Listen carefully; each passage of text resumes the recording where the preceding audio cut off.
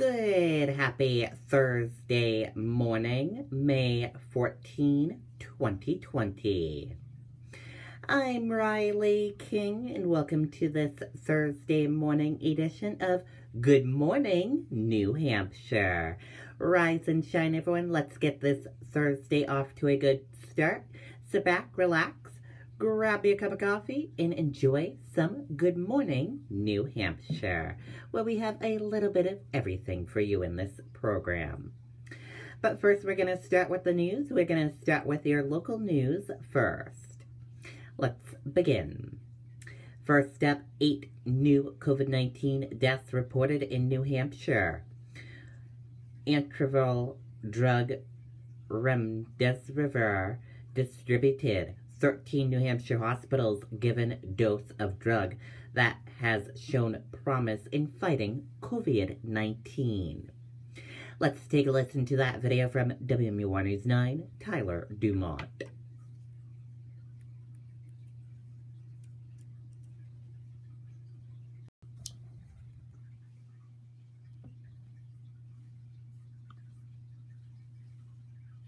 When you cut lawns for a living, reliability matters. The Kubota commercial lineup with purpose-built mowers like this. More equipment to protect people from COVID 19 and a drug to treat people who have it arrived in New Hampshire this week. As businesses continue to flex op- open voluntarily, the state has made sure that masks will be available to them. Governor Chris Sununu says the state has already handed out millions of masks with plans to continue adding to its PPE stockpile. Earlier this week, we secured another 7 million masks. They arrived here in New Hampshire, which will be sent to healthcare facilities and small businesses across the state, and we expect another 10 million masks to arrive later this week. Medical gowns are in high demand nationwide, but the governor says the Granite State will receive another 50,000 this week thanks to two local companies, Circular Blu in Bradford and Coltech in Unity.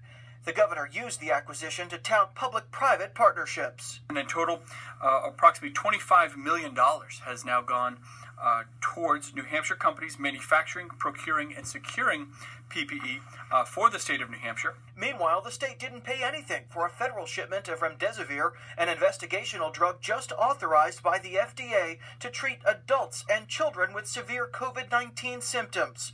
400 vials of the medication arrived Tuesday and were distributed same day to 13 hospitals around the state, according to Health Commissioner Lori Shibinette. All of them have received the emergency use author- authorization to go along with that medication.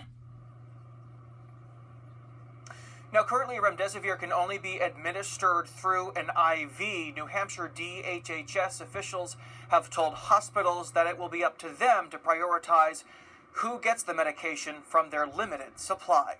Reporting live in Concord, Tyler Dumont, WMUR News 9. Okay, and there you go on that video and that report. Coronavirus in New Hampshire, key information. Let's take a look.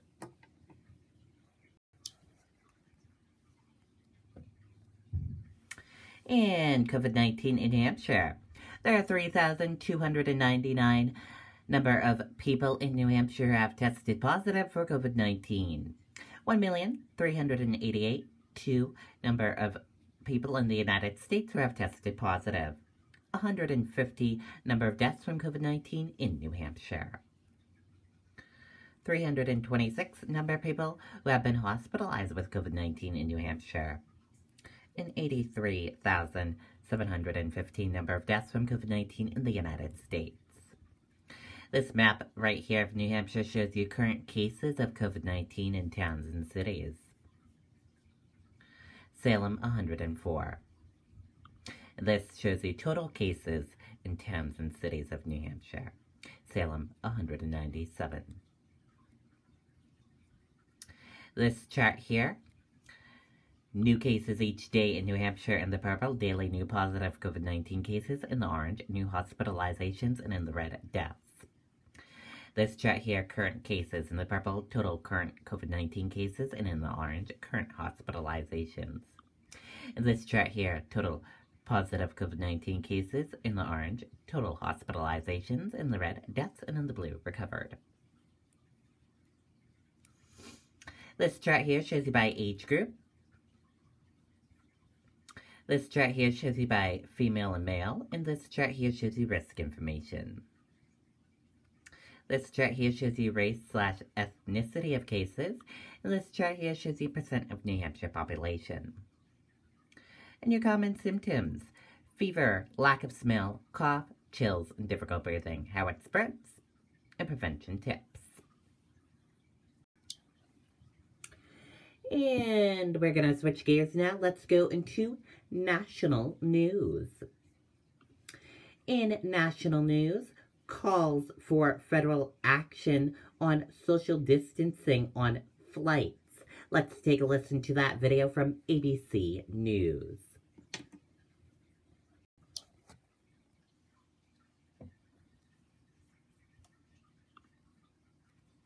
Again, the images and, of course, the questions tonight for the airlines, who all seem to have different policies, no central set of rules, and some passengers are rightly concerned. ABC's Gio Benitez covers aviation. Passengers all over the country are sharing photos of flights they believe are too crowded during a pandemic. The number of domestic flights down nearly 70%, but more people are beginning to fly. Now, tonight, calls for federal action on social distancing. Airlines have imposed their own policies, but they're not all the same.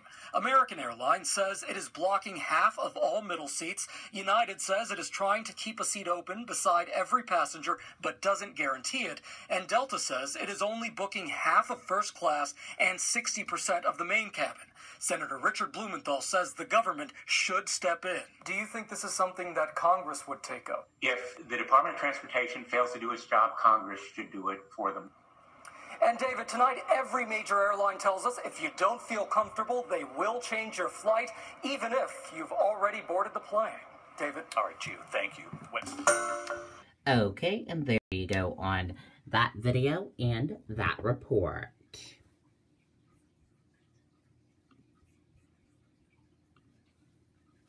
Coronavirus updates. China to ramp up COVID-19 testing aimed at fears of a resurgence. China plans to step up testing nationwide to prevent a rebound in the epidemic.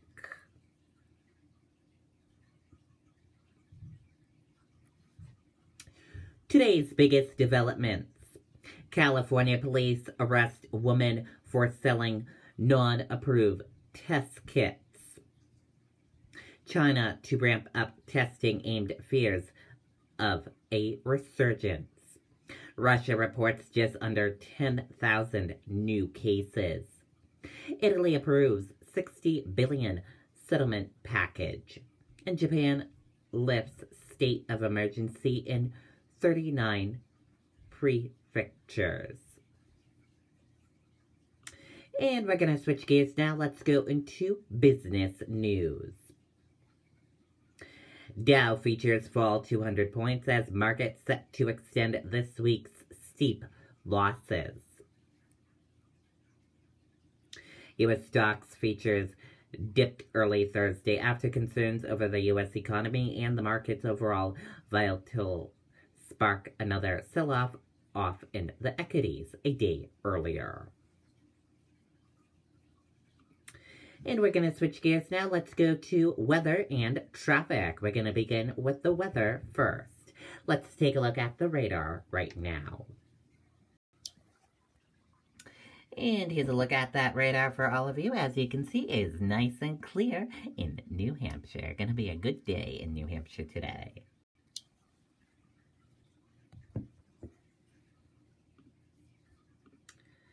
Your weather right now is sunny, 40 degrees. Weather for today, sunny to partly cloudy, high 68 degrees, winds west-northwest at 10 to 15 miles per hour. And now let's take a look at your traffic. Let's see how the traffic is looking like on those roadways in New Hampshire. And here's a look at that traffic for all of you. In Henniker, smooth sailing. Hopkinton, smooth sailing. Bow Pembroke Concord, all smooth sailing. Chichester, smooth sailing. Epsom, smooth sailing with some medium pace traffic. Northwood, smooth sailing with a little spot of medium pace traffic. Lee, smooth sailing with a little spot of medium and stop traffic. Durham, medium pace traffic with some smooth sailing and stopped and slow pace traffic. Rochester, smooth sailing. Dover, smooth sailing. Portsmouth, smooth sailing. Maine, all smooth sailing. Rye, smooth sailing. North Hampton, smooth sailing. Hampton, smooth sailing. Seabrook, smooth sailing. Into the border of Massachusetts. On 101, all smooth sailing on 101 with some construction. And then in the Epping area, you're seeing some medium and slow pace traffic. And then near Exeter, you're seeing some medium pace traffic. Hooksett Manchester, all smooth sailing. Around the Manchester airport, smooth sailing. Bedford, smooth sailing with some medium pace traffic. Amherst, smooth sailing. And Milford, smooth sailing. Merrimack, Nashua, into the border of Massachusetts, all smooth sailing. Nashua, Milford, all smooth sailing with some medium pace traffic.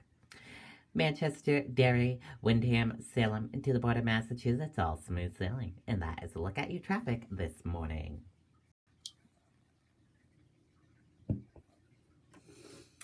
And we're going to switch gears now. Let's go into New Hampshire Life segment.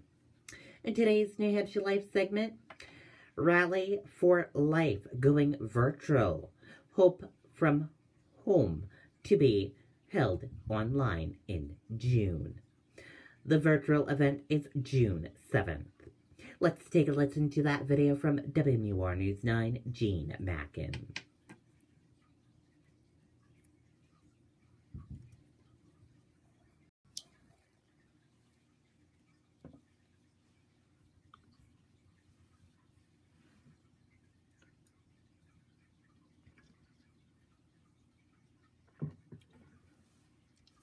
Belletete's building supply has been classified an essential business, and we take this responsibility very seriously. Now you have the option to place your orders via phone or email to orders at belletetes.com.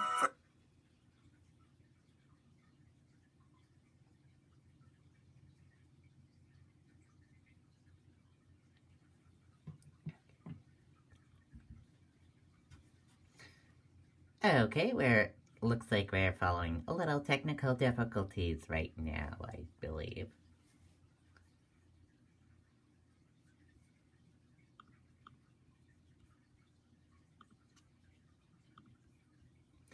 Sorry about the little technical difficulty glitch there.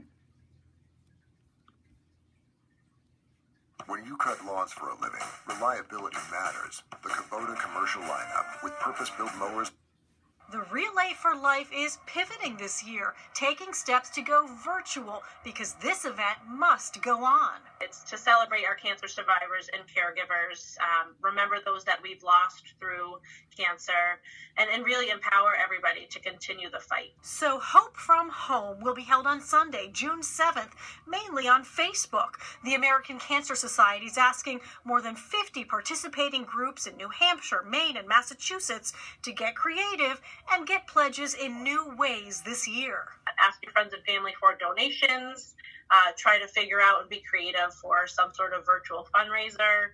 Um, you know, there's all sorts of great ideas out there. People that, you know, have taken pledges for walking a certain amount of miles or biking um, a certain distance. Relay for Life volunteer Alexis Hartnett is up to the challenge. This is definitely different for us. We've never done anything like this before. So this could be a great idea for people who've never even done the Relay for Life before. This is a great time, um, definitely with everything going on right now, to get out in um, you know your backyard or the community around you and just kind of you know get some miles in with your kids, um, your family members, your pets. Just log on to relayforlife.org to learn how you can raise hope from home. Gene Mackin, WMUR News 9. Okay, sounds like a good event there. And it will be virtual this year. And let's go into a cooking segment right now. Cook's Corner Pie Dough. Let's take a look at that video from WMUR. Sorry about that. We had a little technical difficulties. Looks like we're back. Let's go into your cooking segment now.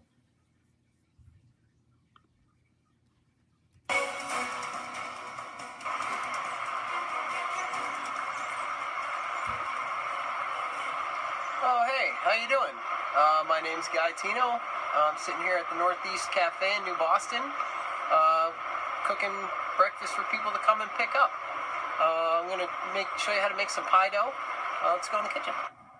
Okay, so here we have a half a cup of butter, a half a cup of shortening, a tablespoon of salt, two cups of water, four cups of flour. I'm going to start with the flour and the butter and the shortening. That butter's been softening for, I don't know, about an hour. First thing we'll do, try to make what's called like a, it's called a coarse meal. So we're just to sort of squish in this butter and shortening until it makes a consistent uh, meal uh, texture. It should hold together just like wet sand sort of holds sort of holds together. And then we'll add the water slowly, fold it a couple times, we'll have pie dough. Just put in the water half at a time. Okay, this is all mixed. Um, as you can see, it's not sticky, um, but it's certainly not dry. If you work it hard enough, it will stick. That's why I always have a uh, little flour for dusting, a little table flour to keep uh, keep it dusted and from sticking. I'm going to break it into uh, seven ounce balls. We'll let that rest uh, for about an hour, and then we'll come back and roll it. We have the table. The table is pretty well dusted. The dough itself is pretty well dusted with flour. Now we can just roll it out. When I roll this pretty thin, and uh, if it fights you, just add a little bit of flour. I like to keep flipping it around. And uh, you can roll it as thin or as thick as you like. Uh, and then you can go ahead and make your pie crust. That's a nice, we make quiche with that one, and uh, or you can we have a chicken pot pie. Uh, and you can use this dough for anything. It's really good, simple pie dough. Thank you so much for watching. Uh, if you'd like to learn more about the Northeast Cafe, go to northeastcafe.com. Uh, if you would like some more tips on cooking, uh, click on the Cooking with Tom tab.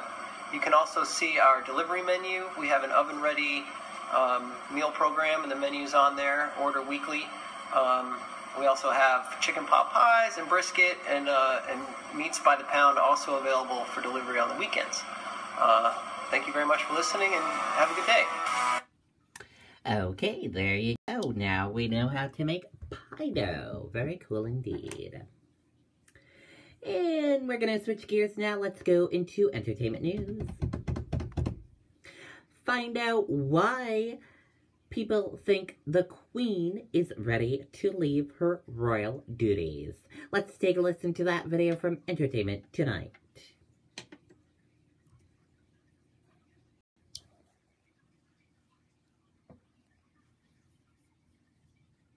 The royals in quarantine. Wow, what a character. Last night, Harry showed up on the BBC to celebrate veterans. It's the sixth time he's made an on camera appearance since the lockdown began.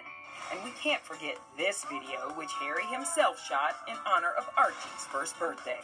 See that Archie's Book Club sticker? The book was a gift from Oprah. Bravo! Yay!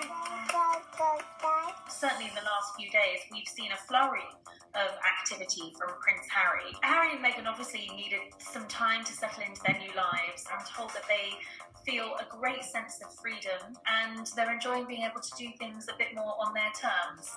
Back in the UK, Harry's 94 year old grandmother remains in isolation at Windsor Castle with 98 year old Prince Philip. There's been speculation the Queen will step down from her royal duties and Charles and William stepping up indefinitely. Never give up, never despair. Well, palace sources are very keen to play down rumours of the Queen stepping down, retiring, and even scaling back. But the reality is, is that we have seen Prince Charles and the Cambridges stepping up to the plate more now than ever before.